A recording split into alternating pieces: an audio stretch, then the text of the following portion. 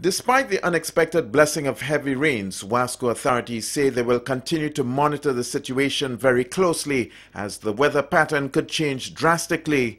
Company officials say they will also be concentrating their efforts on desilting. However, they are now awaiting funding to begin that project. Well, there are no other, uh, no new issues in terms of the, the dam. As you know, um, we're now looking at the, the, the various aspects of desilting. Um, we're now conducting the various studies and um, um, putting things in place so that when funding becomes available so that we can do the, the actual desilting.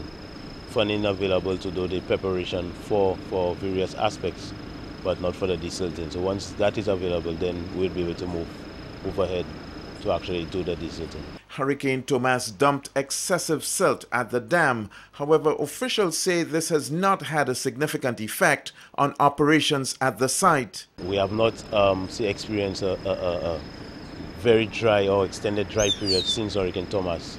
So we have not been tested yet in terms of that, that aspect.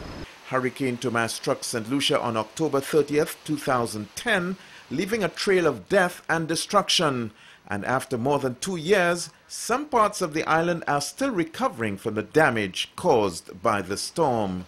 For the DBS News World, I am Don Nicholas reporting.